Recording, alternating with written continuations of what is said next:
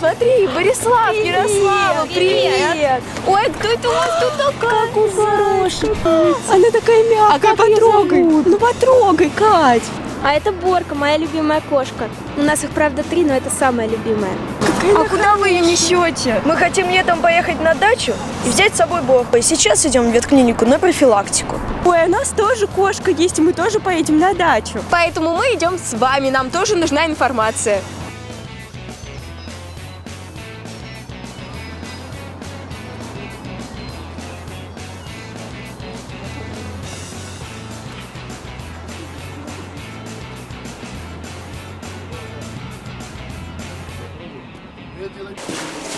Здравствуйте. Здравствуйте. Вы на прием, на процедуры? Мы принесли кошку к доктору на консультацию. Отлично, проходите. И кто у вас? Это Борка. Борка. Сколько Борки возраст? Лет 10 уже. 10. Что у нас с прививками? А, не было прививок. Вот скажите, Мы понятно, что э, человек с самого рождения наблюдается у врача, а э, как часто нужно водить животных к врачу?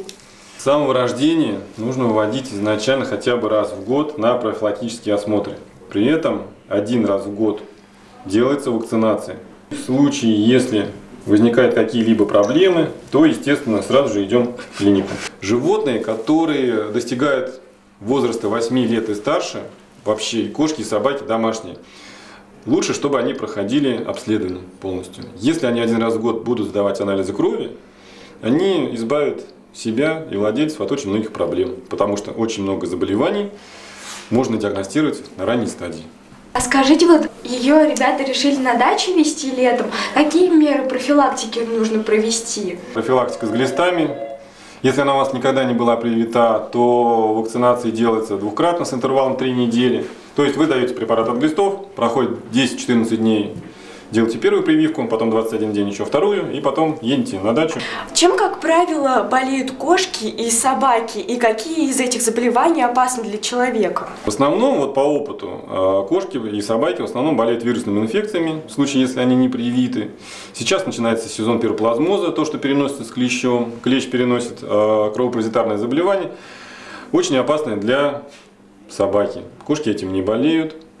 Вот. А Основные заболевания зоантропозанозы – это заболевания, которые совместимы между животным и человеком. Э, В частности, это бешенство, лептоспироз, Бешенство – особо опасное инфекционное заболевание. Вирус вызывает специфический энцефалит, воспаление головного мозга у животных и человека. Передается со слюной при укусе больным животным. Затем, распространяясь по нервным путям, вирус достигает слюнных желез, нервных клеток коры головного мозга и, поражая их, вызывает тяжелые нарушения. До недавнего времени бешенство считалось абсолютно смертельным для человека. В 2005 году был клинически зафиксирован первый случай излечения от бешенства на стадии проявления симптомов. Название болезни происходит от слова «бес», потому что в древности считалось, что причиной заболевания является одержимость злыми духами. Источниками инфекции для заболевших бешенством служат собаки, лисицы, кошки и другие животные.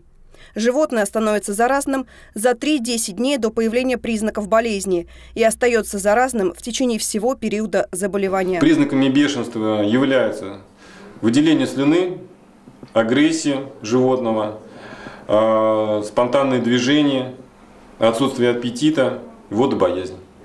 А вот однажды нашу собаку укусил клещ. Мы его, конечно, удалили, но вот есть вопрос, нужно ли этого клеща э, нести в лабораторию, чтобы понять, переносит ли он какие-нибудь заболевания?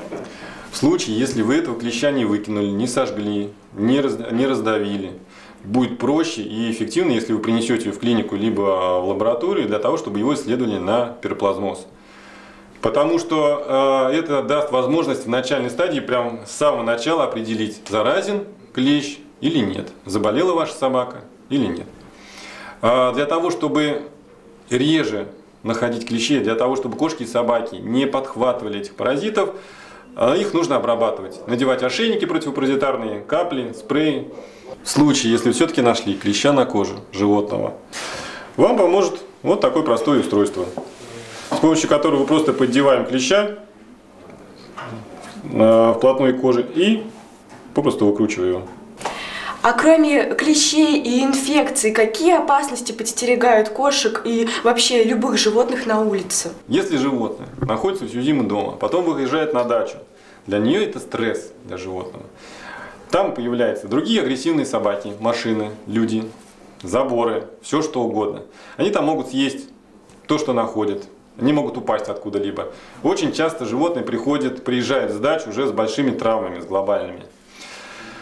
А, Владельцам нельзя резко отпускать животных сразу на улицу, приехав на дачу. Нельзя их кормить шашлыком резко. Потому что собаки и кошки начинают это наедаться, и у них начинается отравление, понос, рвота. Нужно следить за питанием, ничего особо не менять. И продолжать, в общем-то, образ жизни такой, который был и в городе. Кроме кошек и собак, многие люди держат экзотических животных, например, енотов, обезьян, рептилий. Например, одна наша знакомая держит дома обезьяну и енота. Нужно делать какие-нибудь прививки при выезде за город. Если говорить, к примеру, об енотовидных собаках, им нужно, их нужно вакцинировать так же, как и собак обыкновенных. А По поводу рептилий им, конечно, не делают вакцинации, но в основном это контроль врача. И все. Алексей Геннадьевич, огромное вам спасибо за консультацию. Мы обязательно придем с ней на прививки. Да, и мы со своей кошкой тоже обязательно придем. До свидания. Пожалуйста, до свидания, приходите. Забота о животном заключается не только в том, чтобы его обогреть, приласкать и накормить, но и, конечно же, в том, чтобы следить за его здоровьем. Доктор нужен не только человеку, но и любому животному. Помните, что мы в ответе за тех, кого приручили. Yeah.